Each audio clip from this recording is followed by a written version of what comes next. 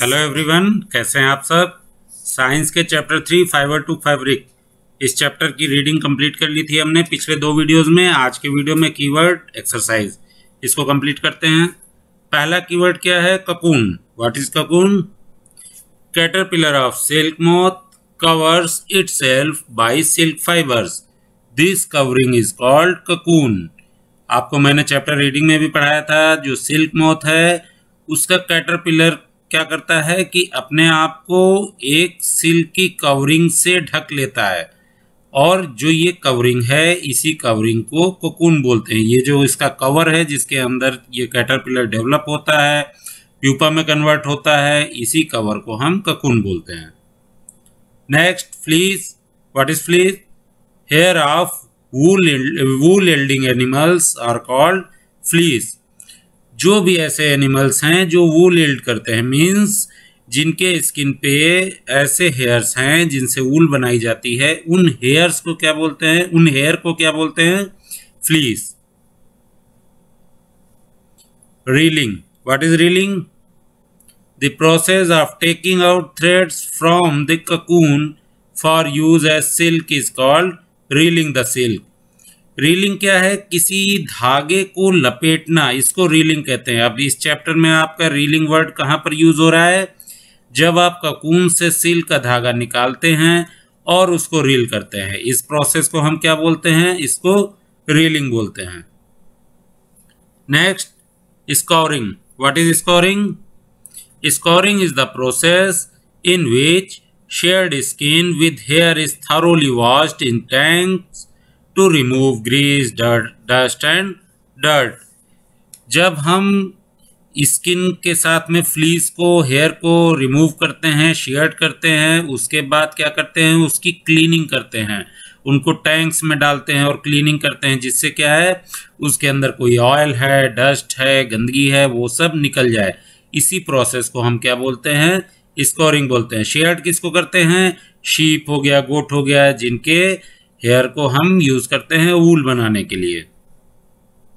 Next sericulture what is sericulture the rearing of silkworm for obtaining silk is called sericulture silkworm की rearing means silk worm silk के worms जो हैं, उनको पालना। किस लिए पाले जाते हैं वो? सिल्क ऑप्टेन करने के लिए। और इस ऑक्यूपेशन को क्या बोलते हैं? इसको हम सेरिकल्चर बोलते हैं। Next, shearing. What is shearing? Shearing is the process in which the fleece of the sheep along with a thin layer of skin is removed from its body. जब किसी sheep या इवन गोट या कोई भी वोल yielding animal है उसके जब fleece को हम निकालते हैं और कैसे निकालते हैं उसके साथ ही एक पतली स्किन की लेयर भी रिमूव कर देते हैं तो इस प्रोसेस को हम क्या बोलते हैं? That is called shearing next silk moth silk moth is an insect whose caterpillar has been used in silk production silk moth क्या है? सिल्क मोथ क्या है कि सिल्क का कीड़ा है और ये क्या होता है? ये कैंसर इंसेक्ट होता है। ठीक है? अब सिल्क मोथ हम किसको बोलते हैं? जो अडल्ट है। मीन्स जो पूरी तरीके से ग्रोन है, पूरी तरीके से डेवलप्ड इंसेक्ट है, उसको सिल्क मोथ बोला जाता है। और उसका जो कैटरपिलर है, जब वो एग से निकलता है कैटरपिलर की फॉर्म में रहता है और उसके बाद क्या करता है, वो ककून डेवलप करता है तो किस लिए ये सब चीज़ें जो होती हैं, वो किस लिए होती हैं, वो सिल्क प्रोडक्शन में हेल्प करती हैं। ओके सिल्क वॉर्म अब देखिए सिल्क मोथ और सिल्क वॉर्म इनमें क्या फ़र्क है, अभी आपको पता चल जाएगा। The caterpillar of the silk moth is called a silkworm silk moth क्या है? पूरा ग्रोन इंसेक्ट जो है, वो सिल्क मोथ है और उसका जो कैटरपिलर है, उसको हम सिल्क वॉर्म बोलेंगे। Okay sorting what is sorting separating things according to their shape size texture और in any manner is called sorting sorting क्या है? आप अपने भी घर में कुछ ना कुछ इस तरीके की सॉर्टिंग करते हो, रहते होंगे कि एक साइज़ की चीज़ें एक तरफ़, एक कलर की चीज़ें एक तरफ़, एक टेक्सचर की चीज़ें एक तरफ़। तो किसी भी इस मैनर में चीज़ों को सॉर्ट करना और इस प्रोसेस को हम क्या बोलेंगे? This process is called sorting keywords complete हो गए हमारे, अब एक्सरसाइज देख लेते हैं क्या है। First you must be familiar with the following nursery rhymes baa baa black sheep have you any wool and second one is Mary had a little lamb whose fleece was white as snow अब ये दोनों rhymes आपने nursery में पढ़ी भी होंगी। और इन्हीं के बेसिस पे दो क्वेश्चन हैं, उनको आंसर करना है। देखिए, पहला क्वेश्चन क्या है? Which part of the black sheep have wool black sheep के कौन से पार्ट में वूल मिलती है? बाबा ब्लैक शिप तो इसका आंसर क्या है? Wool is obtain from the fleece hair of the black sheep wool कहाँ से मिलती है? जो फ्लीस हैं, जो हेयर हैं उसके ब्लैक शिप के, वहाँ से हमको वूल मिलती है। Next what is meant by the white fleece of the lamb lamb के वाइट फ्लीस इससे क्या कहना चाहते हैं कि क्या है व्हाइट फ्लीस क्या है? White fleece of the lamb refers to the white coloured hair of the lamb lamb के जो एकदम व्हाइट कलर के जो हेयर हैं, उनको क्या बोला जा रहा है? White fleece question number two the silkworm is a caterpillar a larva choose the correct option silkworm क्या है? कैटरपिलर है या लार्वा है? आंसर आपको A B both A and B neither A और नॉर बी क्या आंसर लग रहा है आपको? That is both A and B silkworm क्या है? इसको कैटरपिलर भी बोलेंगे और लार्वा लार्वा जो है जस्ट लार्वा जब एक से बाहर निकलता है, उसको लार्वा बोलते हैं और धीरे धीरे वो डेवलप होना शुरू होता है, तब उसको कैटरपिलर बोलते हैं. बट सिल्क वॉर्म ये दोनों चीज़ें सिल्क वॉर्म ही है. और पूरी तरीके से जब वो ग्रो हो जाता है, तब हम उसको क्या बोलते हैं? Then that is called silk moth question number three which of the following does not yield wool इनमें से कौन वूल यील्ड नहीं करता है? चलिए देखते हैं आंसर क्या है? वूली डॉग देखिए, यॉक से भी हम वूल निकालते हैं कैमल से गोट से वूली डॉग से नहीं। क्यों? वूली डॉग के आप सोचेंगे कि उनके भी तो लॉन्ग हेयर होते हैं, सब कुछ होता है। बट वो हेयर उनको अपना टेम्परेचर मेंटेन करने के लिए सपोर्ट करते हैं। उन हेयर से हम वूल नहीं बनाते हैं। क्यों? क्योंकि उनके ऊल, उनके हेयर्स में उस तरीके का फाइबर नहीं होता है, या हम उसको यूटिलाइज नहीं कर पाते हैं ऊल बनाने के लिए। Question number four what is meant by the following terms तीन पार्ट हैं रेयरिंग शेयरिंग एंड सेरिकल्चर चलिए एक एक करके देखते हैं। What is rearing the process of keeping feeding breeding of useful animals is known as rearing rearing क्या है? हम किन्हीं भी जानवरों को जो पालते हैं, उसको क्या बोलते हैं? रेयरिंग करते हैं। अब ये प्रोसेस इस प्रोसेस में क्या क्या चीज़ें इन्वॉल्व हो गई? कीपिंग उनको रखना, उनको फ़ीड कराना, उनकी ब्रीडिंग करना। यूजफुल एनिमल्स की ये क्या कहलाती है? रेयरिंग कहलाती है। नेक्स्ट शेयरिंग इसको हमने कीवर्ड में भी पढ़ा था। सेम उसी चीज़ को यहाँ भी देख लेंगे। Shearing is the process in which the fleece of the sheep, along with a thin layer of skin, is removed from its body.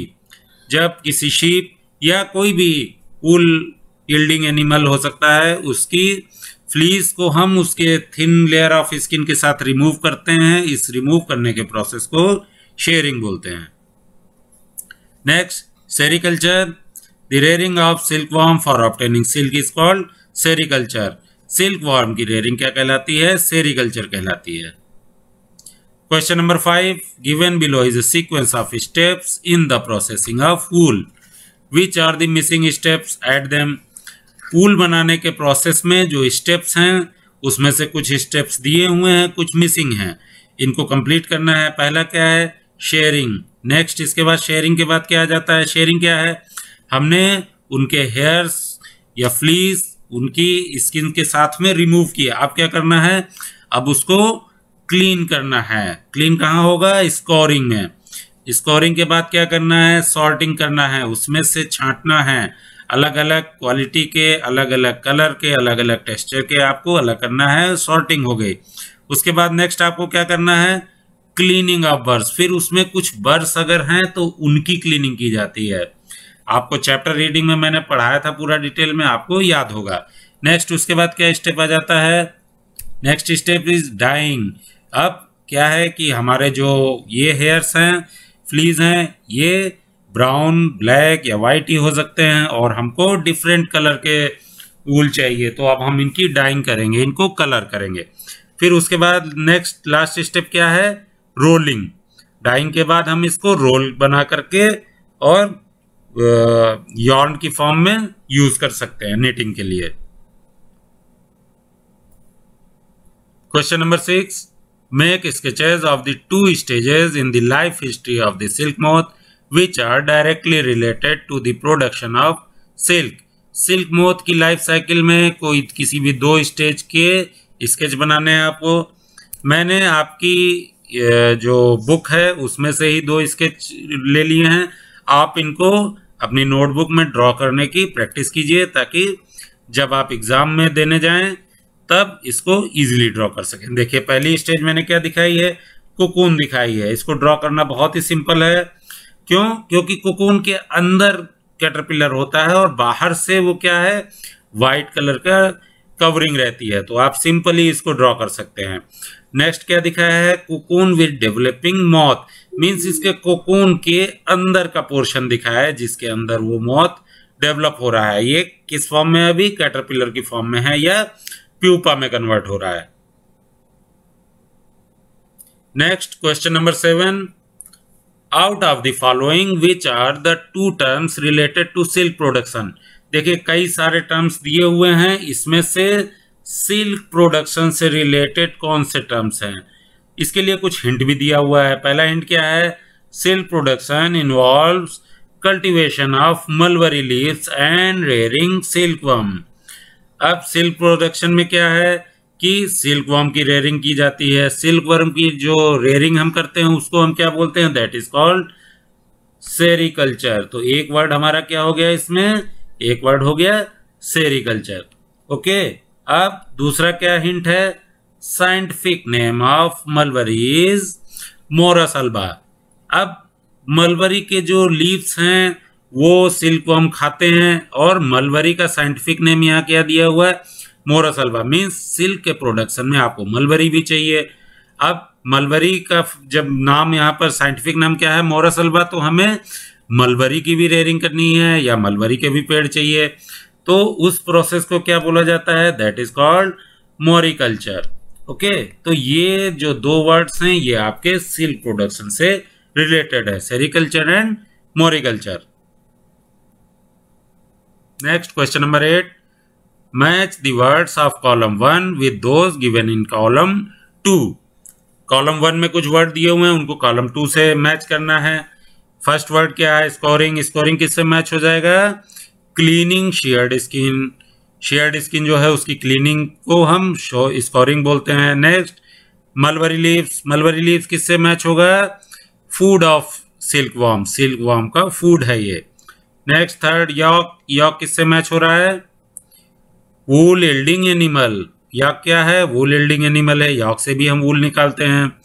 Next four cocoon cocoon is cocoon yield silk fibre cocoon में silk fibre होता है। Okay okay?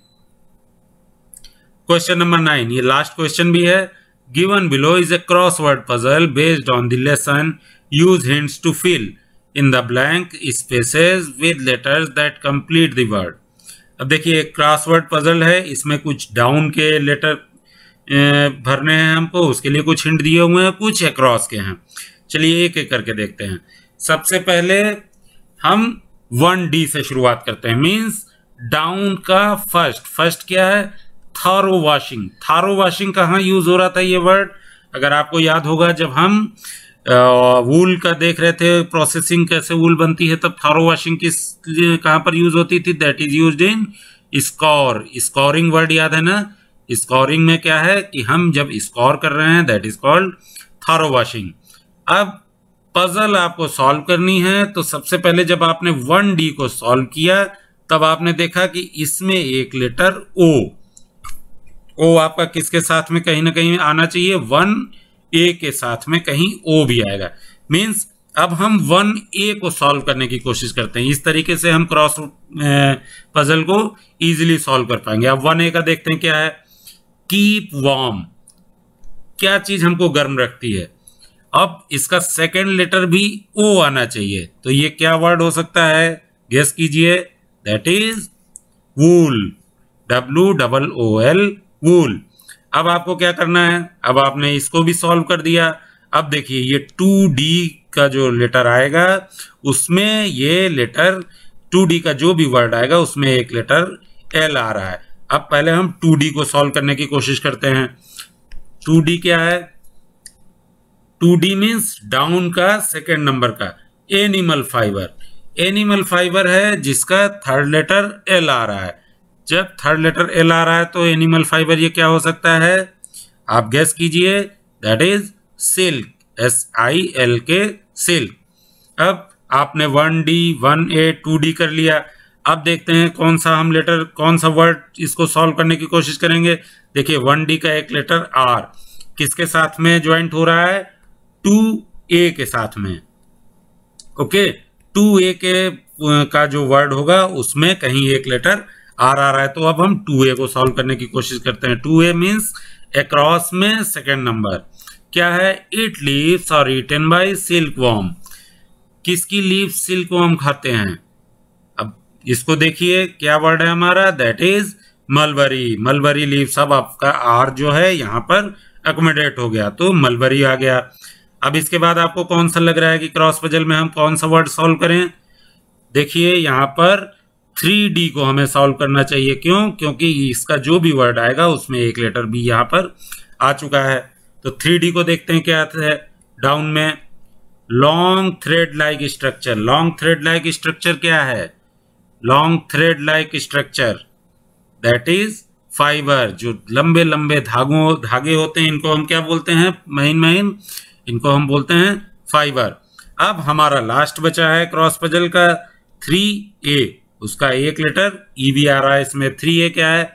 Hatches from egg of मौत किसी मौत के कीड़े के egg से जो हैच होकर के बाहर निकलता है, क्या निकलता है? दैट इज़ कैटरपिलर ओके तो आपने इस क्रॉस पजल को भी बहुत ही इजीली सॉल्व कर लिया। क्यों कर लिया? क्योंकि चैप्टर रीडिंग आपने बहुत अच्छे से की थी। ओके तो ये चैप्टर हमारा कंप्लीट हो गया। अब हम लोग आगे के वीडियोस में नेक्स्ट चैप्टर की रीडिंग करेंगे। Till then bye